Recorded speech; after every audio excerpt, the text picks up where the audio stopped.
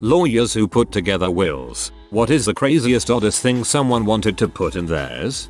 A relative worked for a firm preparing wills and was confronted by an executor who had an edict to scatter the deceased's ashes from a microlight aircraft. He couldn't fly one. She kindly pointed out to him that the drafting said nothing about whether said microlight was in flight at the time of scattering.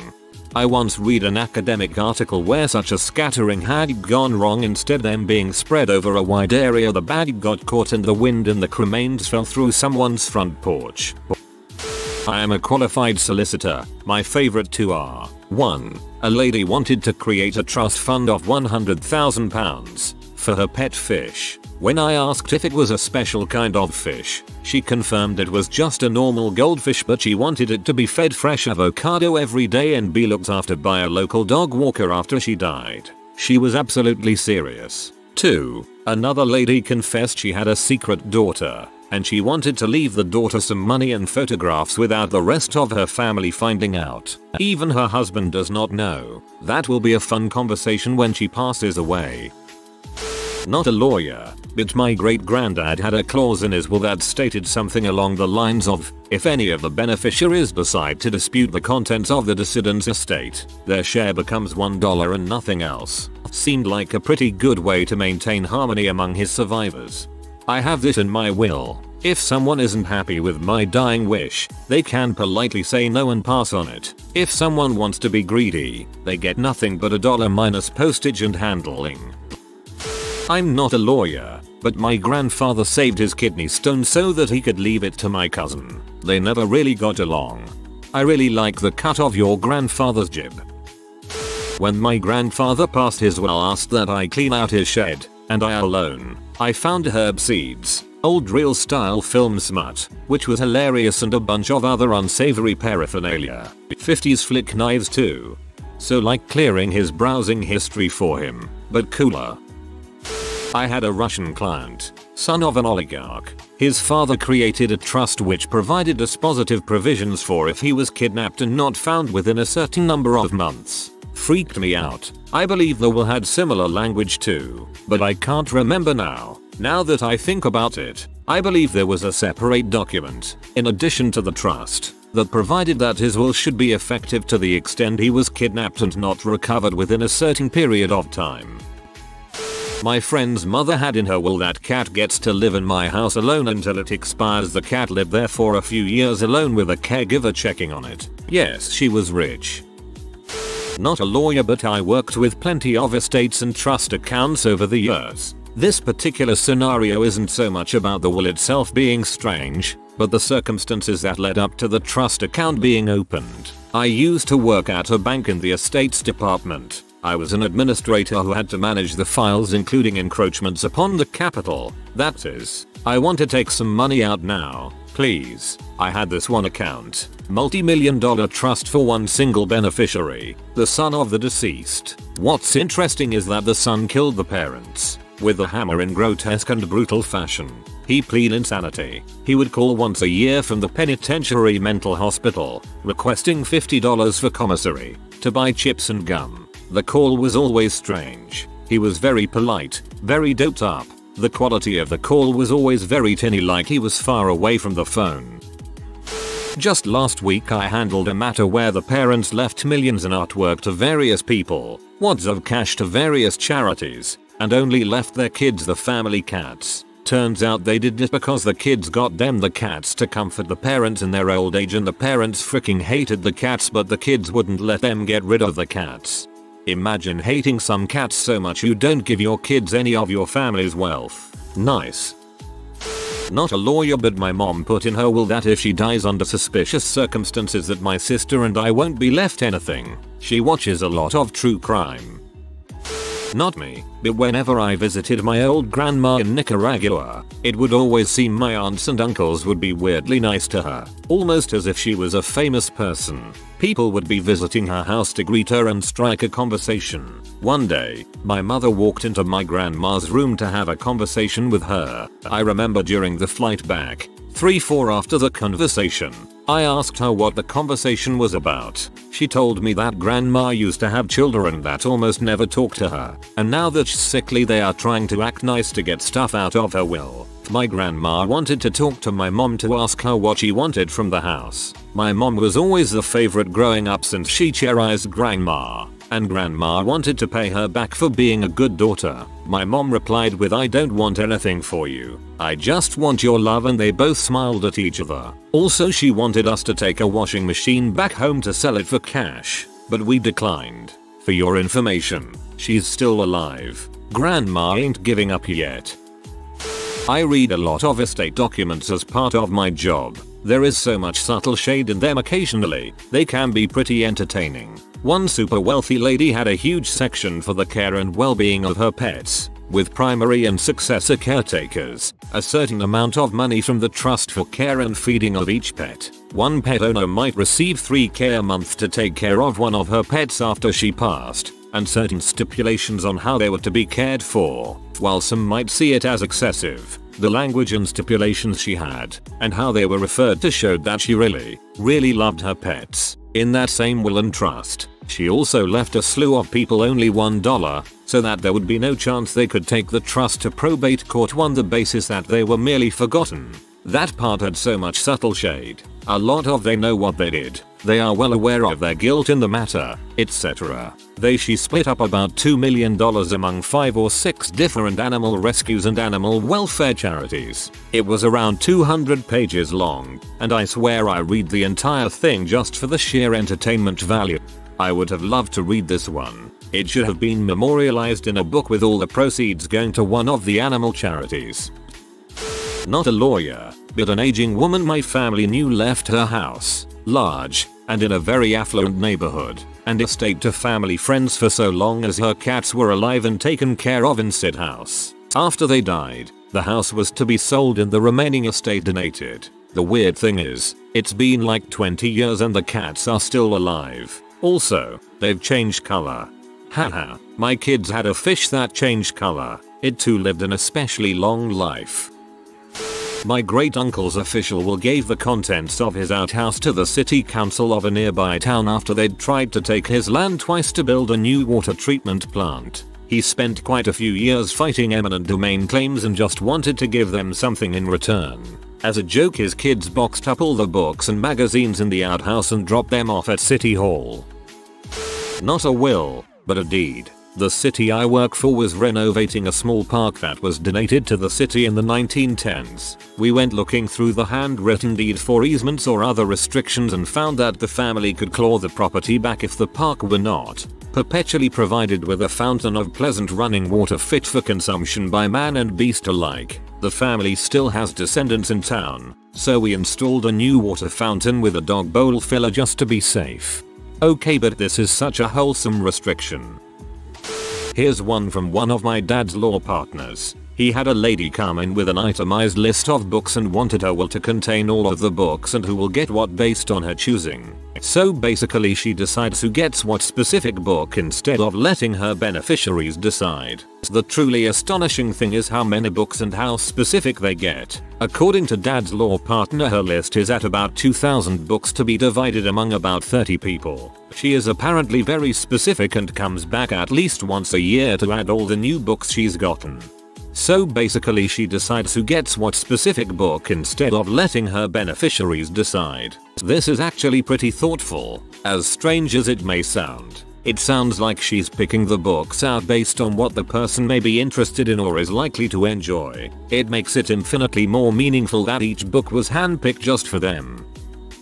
My sister's mother-in-law is leaving her house to her three sons. If one wants to sell out his third of the house, he has to sell it to the other two brothers for $1. A Furby collection from models collected in the late 90s. They were convinced they would retain future value. This was 2011. Haha whoops. My grandpa gave me all his tools, which sounds dumb but we are in the same trade and it was a real life changer. It included a lift and his old shop truck so I pretty much got everything to start my own shop but a building. A pretty good chunk of change. And his dog Tanner. As long as I made sure his live-in girlfriend at the time got nothing at all and I told my uncle he was fat and his wife was going to leave him if she couldn't find his pecker. There was literally a script inside the will. It all went smooth and my uncle lost weight and Janice is in butthole and it turns out Tanner is kind of in butthole too but it's okay because my grandpa was kind of in butthole. A good one but still sort of in butthole. And they have the same mustache and eyebrows so now I come home from work every day and get stared down by my grandpa while I poop. He gotta make sure you did everything he told you. Omans. Not a lawyer. Work for a will writers trust specialist in the UK. Currently studying toward my TEP. One of our earlier clients passed recently. Turns out the man she left almost everything to, including the residue of her estate, which was considerable, was her regular taxi driver. She had also named him as her executor. He had no clue. The woman named as her executor and main beneficiary on her previous two wills, a close friend of many years, was understandably flabbergasted and contested the will. We responded to her solicitor's Larke v Nugus request, informed Mr. Taxi Driver, who didn't even know our client had passed, and the will was upheld. Aforementioned friend was left a legacy of £5,000 if I remember correctly, but her nose was clearly out of joint. Bonus observation. It takes a lot less than £5,000 being up for grabs to make families turn against each other. Can get really nasty. One of the most startling things I've learned in my short time in this business. I had the first son so my dad decided to leave me more. Except he did the math wrong and it came out to 105%. He had dementia. My wife's grandma is not putting the grandkids in the will to not play favorites, but my wife is her favorite so she made my wife the executor and gave whoever the executor just happens to be 5%. I'm the executor of my grandmother's will. I also get the house and everything in it and a share of life insurance that's split three ways between myself, sister, and mom. My mom has always said that all my dad, my grandmother's son-in-law, would like to have is some table. Well in the will there's like a whole paragraph that states how my dad gets nothing. He doesn't lay a finger on anything in the house or any money. How my dad is basically worthless and deserves nothing and how he was a crap dad and that she begrudgingly has my mom in the will. Thanks grandma I'll appreciate the awkwardness. So this is related. Worked on a divorce up a couple who fought over every single thing in the house, separating pillows and such. They were left 52 gallons of vanilla extract by her grandmother. In a secondary proceeding he was awarded all but 5 gallons. Two weeks later he sent in a case of samples in Ziploc baggies to our office along with a request to subpoena a urine test from his ex-wife to prove she pee in the jugs before he picked them up. We never needed to as she screamed in court that she pee them full just like he pee all over her during their marriage. They were neat. This same couple went to court for nearly 2 years over a Beanie Baby collection. They had 3 kids. As a baker, that breaks my heart a little. Poor innocent vanilla didn't deserve that. Not a lawyer, but I work at a law firm. One client left $100,000 to his two cats so they could maintain their current lifestyle. Meow. It's me your cat. My grandma left a penny and a nasty comment to almost every person in the will, all of her sons and daughters, even a few grandchildren, except for me. I got $1,000. Thanks, grandma. Not a lawyer but my grandpa puts in his will a chocolate bar for everyone one of his grandkids. Well I have like 12 cousins and very difficult to track down where a couple of them went. All this estates and money he had in will was at a standstill for months because they couldn't find my couple cousins. Had to show court we put in effort to hire someone to track them down etc. The lawyer that was helping execute the will was blown away that this lawyer allowed this and why he wouldn't highly suggest not to do it. But I'm not complaining cause I got a Toblerone out of the deal. Pretty smart way to ensure all the cousins would be informed and force them to check in on each other. In my mum's will, which I have seen, she has left me the kitchen table and chairs. She lives on a South Manchester council estate. My brother gets the sideboard. My mother told me that she wrote my older brother and older sister out of her will. I assume I am also written out of it, though I doubt she'd tell me because she wants to be around my child. She doesn't get to be, but whatever makes her feel better about herself. If three of your kids aren't talking to you, then we might not actually be the problem. I, early 20s, was forced to write a will due to the health insurance I get at work, and, amongst sensible stuff, The in-house lawyer said it was totally okay for this clause to be added. My funeral wishes are that I be buried in a coffin which has been sprinkler-aided, such that opening the coffin would cause alarm to future archaeologists. Then a bunch of stuff about if this is too costly I'd be cremated and have my ashes scattered in a specific place.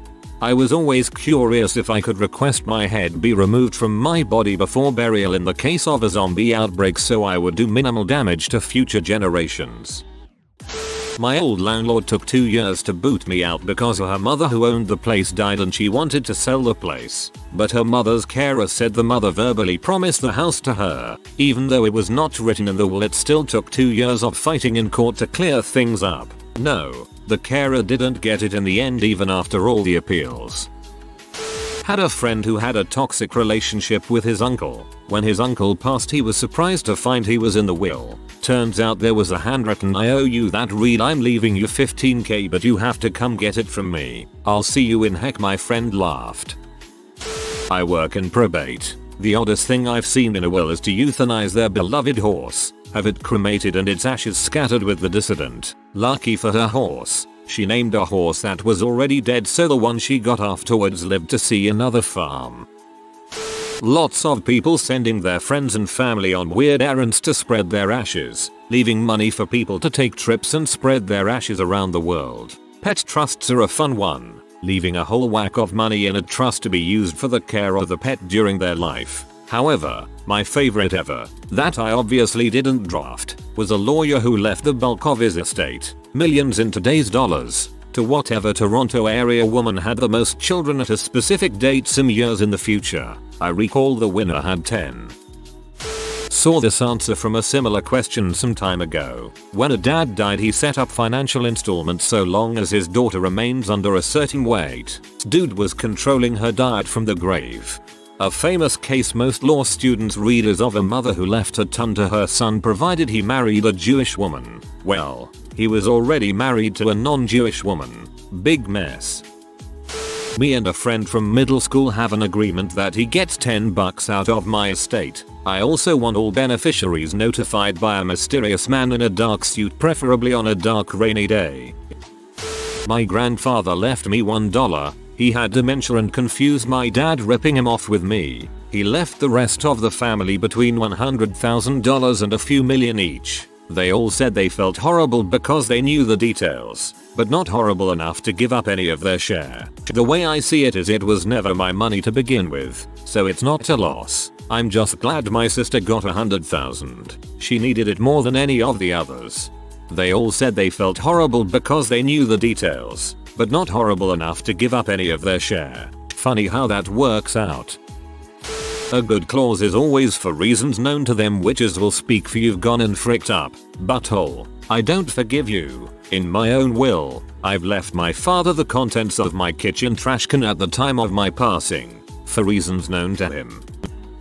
Worked with a client who wanted language that her cats would be euthanized and buried with her. We had to explain why legally we couldn't do that. The moral part just went over her head. One of the few clients who ever got under my skin.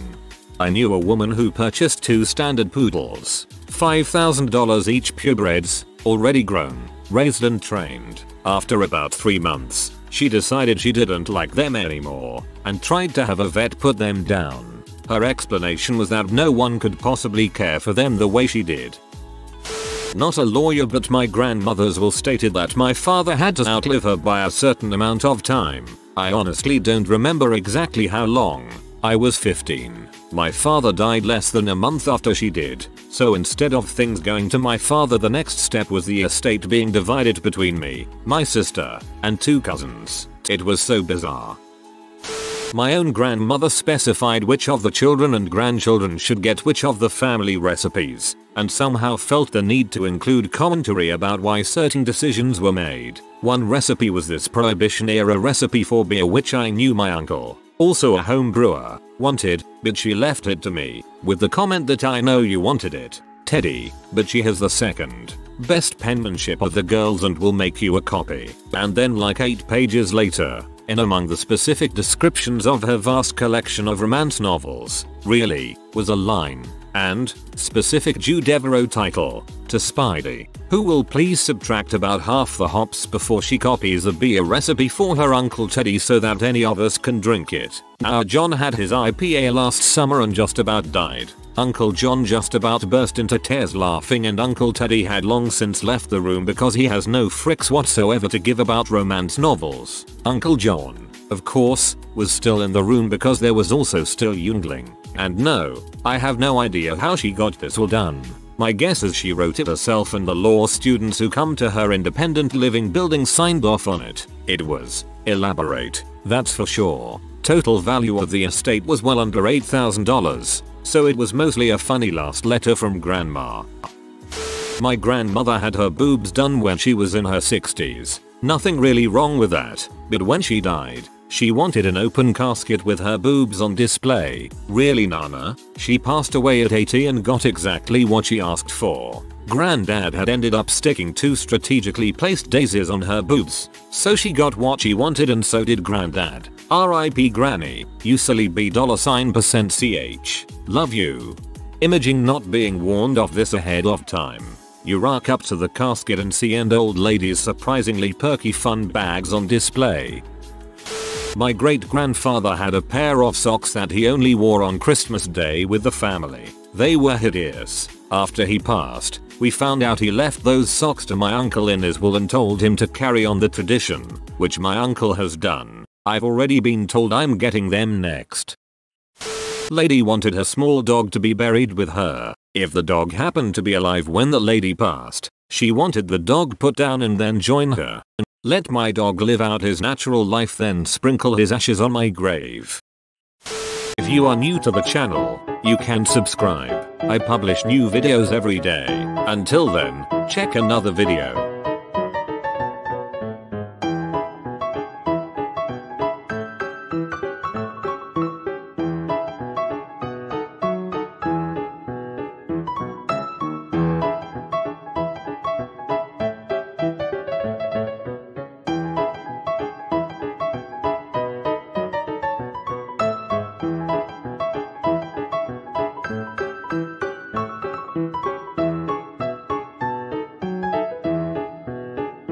Bye for now.